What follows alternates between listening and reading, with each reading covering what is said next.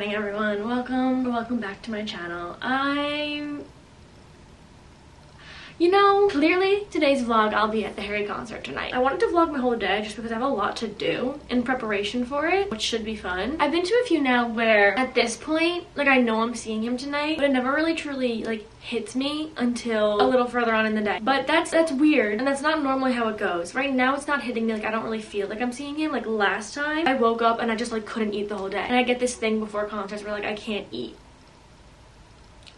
and I don't know if that's just me. I don't know. I feel good today, so maybe I'll eat something. But last concert, I literally just couldn't eat until I got home at like 12 in the morning. Anyway, I did my hair, like I curled it so that it falls, just because I don't want it to be too crazy and just like freshly curled when I'm getting ready. Like I want it to fall throughout the day. I think it's like 10 a.m. I don't know what I'm wearing. I have a few options, so I might go to the mall, I might not. I might bedazzle something. I don't really know what I'm doing, so that's concerning. I have to write something on the sign because I had a sign for my last concert. I like spray painted white over it just like clear the board and start over because it was funny for that concert, but like I feel like the joke has passed. I need to do that. I need to go get some sort of Starbucks to drink because I need something in my body. I need to read. I need to film another video. Like there's a lot to do today, but I want to take you guys with me. It should be fun. Eventful day. I'm excited.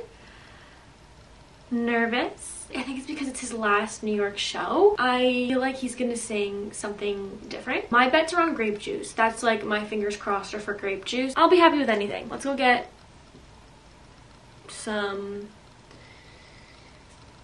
Starbucks. And let's just like chill out because I'm very on edge right now. And I don't know why. I told you, it's the day of a concert. I just get these like, I don't know. Anyway, let's go. And we need to figure out an outfit. I'll show you my options. This is like not a joke. I don't know what I'm gonna do. We'll figure it out.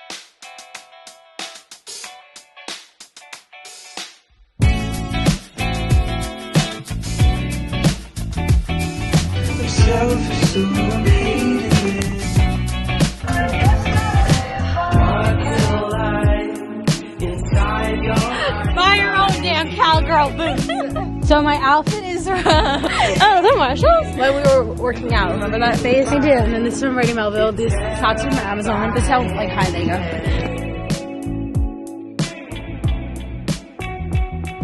You always let me know.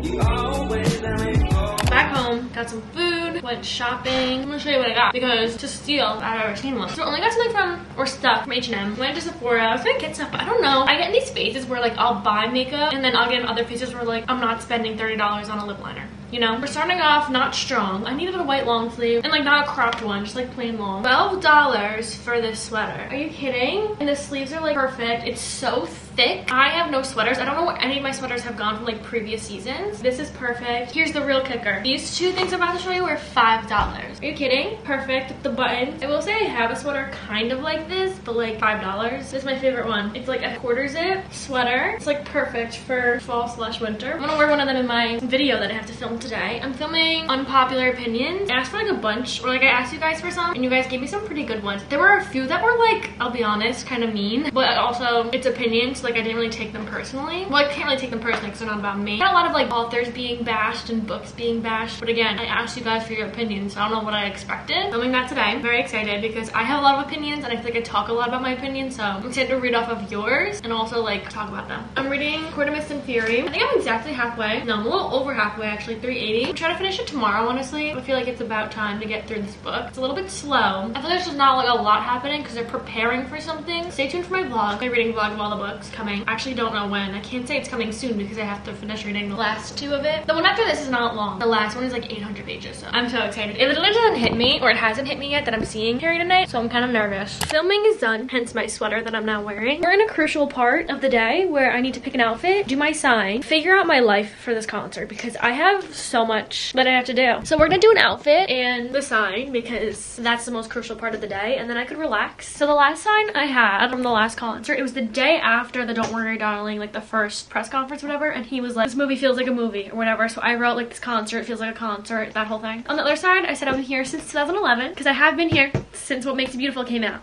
Don't forget it, guys. I think I'm gonna ask him to play Grape Juice, you know, nicely. I'm just gonna say like, Grape Juice, please. Maybe if I put please, he'll play it because that is my favorite song on the album and it is Criminal and it is Rude. That's not on the set list. Maybe since it's the last of the shows, we could fully get it. I'm just gonna go for it. Is grape juice one word?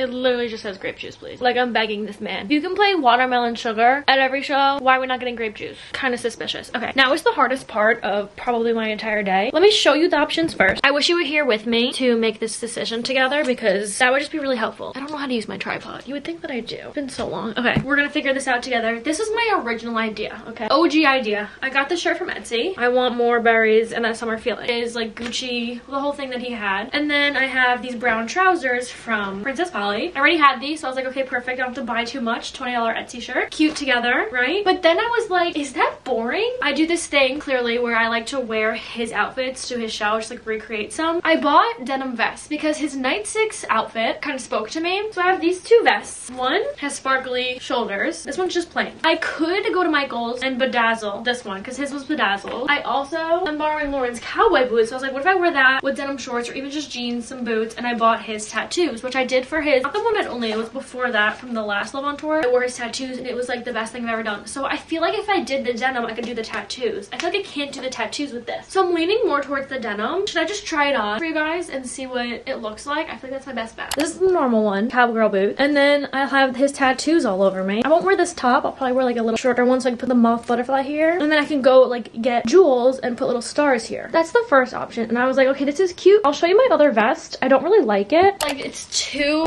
square up here. Sparkles are fun. Sparkles are cute. And it's like open on the side. Can you see? Yeah. It's not giving to the front. To the side, cute. To the front, not giving. I'm thinking the other vest. But I'm gonna put shorts on with it. I mean, jeans and show you what that looks like. And here's with jeans. I do have the boots on, so like I'm a little taller. They're white. They match the white top. With tattoos. I feel like this is better. You know what? It's a surprise for all of us. We're gonna figure this out. I just think this would be best. I need to go like relax, charge my camera. I'll come back when I'm getting ready. I don't think I have anything else to do. Oh, I have to bedazzle this if I wear it. So when I figure that out, we'll bedazzle together. I'll be back. I think I'm gonna try to do the tattoos first. To really see the vision of my outfits, I think I have to put the tattoos on.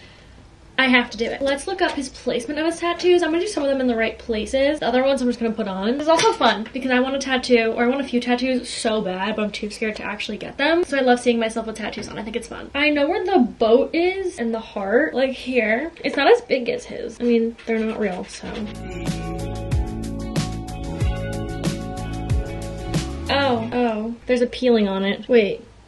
Did I mess up? After so many outfit tries, I think this one's just my calling. I went a little crazy. I didn't realize I was gonna wear this shirt, but I, yeah, put all this on. I did this one. And then I have like just this little one. There was a big eagle underneath that I might add. I don't know. If I just keep the shirt like up a little bit. So this is what this one looks like. Can you see? I feel like this is cute. You know, trousers are comfortable, shirt is cute. This was my OG idea. The denim is not as cute as I thought, and bedazzling isn't my calling, but this is what it looked like with the vest and the shirt. Like, it's still cute without the vest and black shorts. That's also cute. And then this is it with regular shorts without the vest. So I'm a lost cause right now. I don't know what I'm gonna end up in. You guys will see in a little. I feel like this is most comfortable. We'll get ready in a little, figure it out. Right now at 3.30, I'm gonna get ready at like 4.30. We're gonna see together what I end up picking. I don't know, but right now I really want tattoos. This one right here, I want this. I love it. It's so cute and little.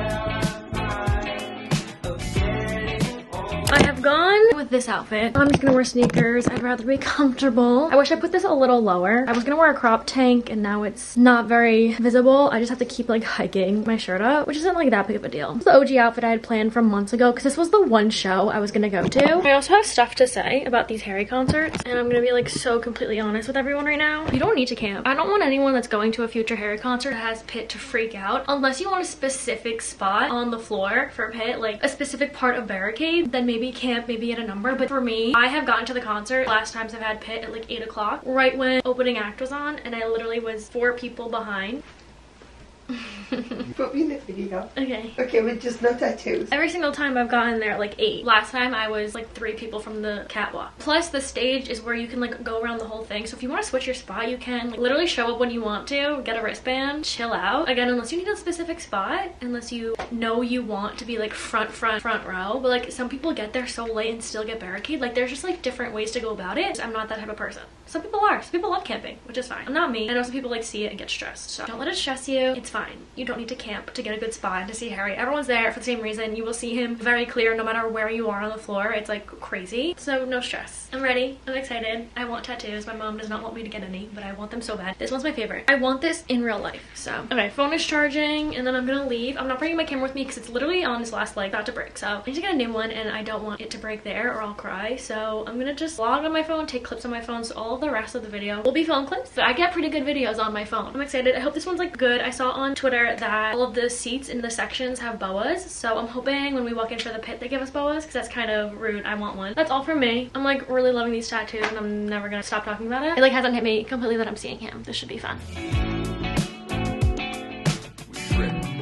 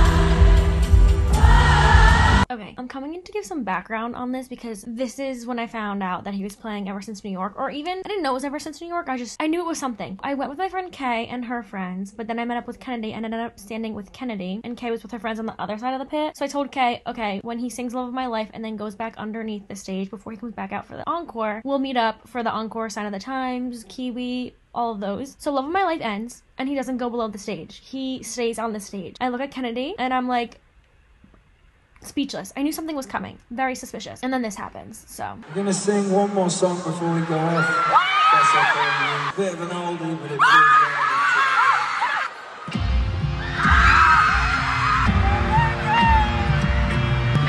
Tell me something.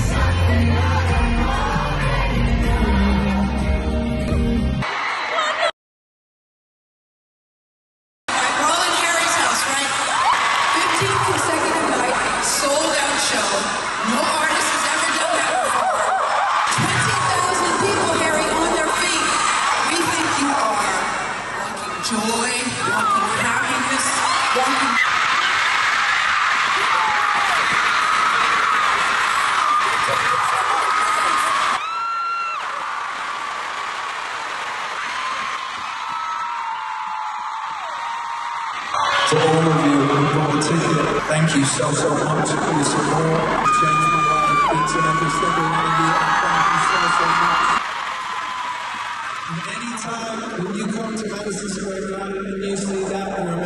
because ours.